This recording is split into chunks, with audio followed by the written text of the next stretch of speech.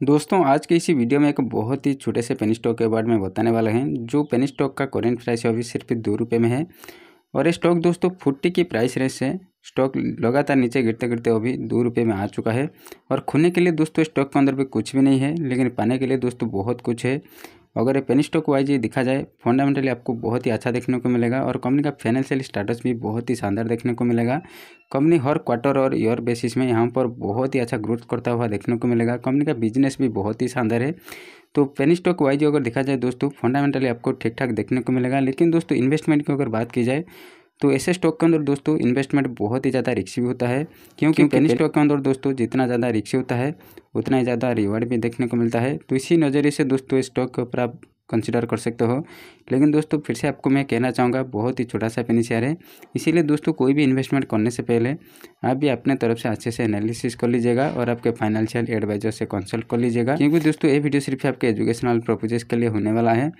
तो उसी के साथ दोस्तों, वीडियो पसंद आए तो वीडियो को लाइक कीजिएगा और कमेंट कीजिएगा और शेयर कीजिएगा और चैनल पर फ़र्स्ट टाइम विज़िट किए हो चैनल को सब्सक्राइब कर लीजिएगा। तो फ़िलहाल दोस्तों, आगे बढ़ते हैं। सबसे पहले यहाँ पर कंपनी के फाइनेंशियल स्टाटस को देख लेते हैं। तो यहाँ पर दोस्तों कंपनी का क्वार्टर ऑन क्वार्टर बेसिस में सेल्स कंसिडर कर सकते हैं। तो यहाँ पर दोस्तों, जून 2019 से यहाँ पर आप कंपनी का सेल्स देख सकते हैं।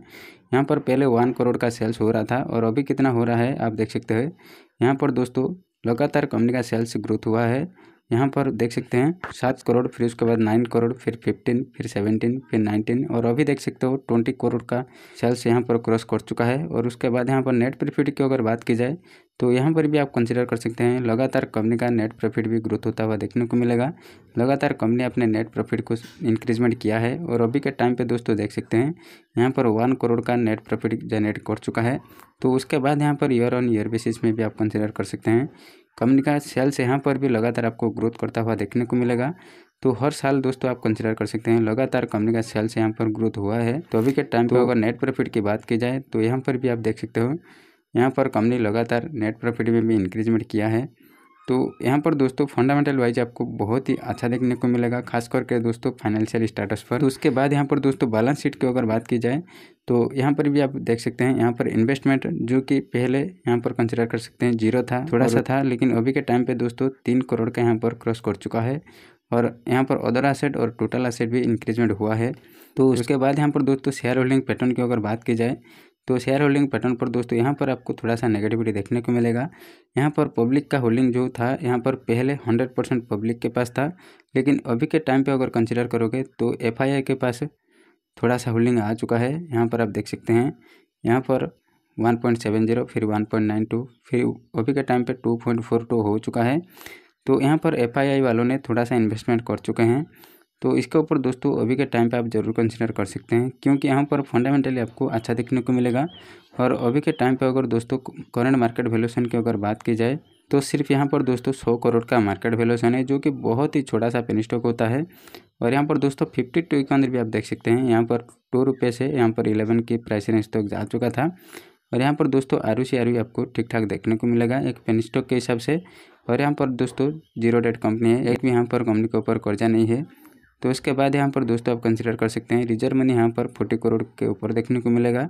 और यहाँ पर दोस्तों इंडस्ट्री के पी अभी ट्वेंटी थ्री पे है, लेकिन यहाँ पर स्टॉक का पी को अगर देखोगे तो स्टॉक का भी यहाँ पर थर्टी नाइन पे है। थोड़ा सा यहाँ पर आपको ओवर वैल्यूड में देखने को मिलेगा। अभी भी आप देख सकते हो। तो कंपनी के नाम की अगर बात की जाए तो शेयर का नाम आप कंसिडर कर सकते हो, Shri Ganesh biotech India limited जो कि बिज़नेस की अगर बात की जाए तो दोस्तों यहाँ पर कंपनी के अवार्ड में अगर देखें तो देख सकते हैं, यहाँ पर कंपनी एग्रो प्रोडक्ट का सप्लाइंग, ट्रेडिंग और डिस्ट्रीब्यूटिंग के बिज़नेस में जुड़ा हुआ है।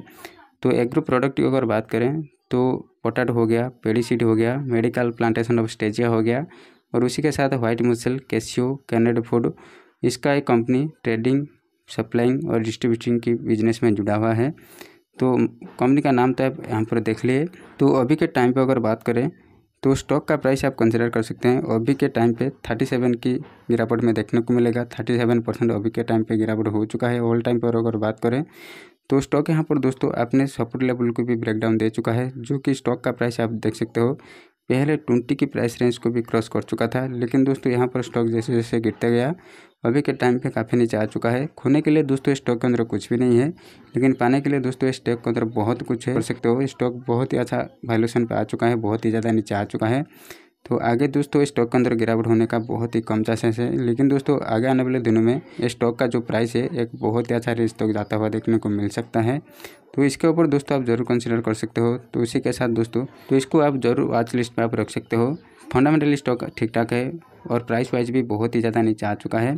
तो दोस्तों, सिर्फ़ मेरे कहने से भी मत जाइए, आप भी अपने तरफ़ से अच्छे से एनालिसिस कर लीजिए। तो फ़िलहाल दोस्तों, आज के वीडियो में इतना ही। मिलते हैं दोस्तों और एक नए वीडियो में, तब तक के लिए बाय बाय टेक केयर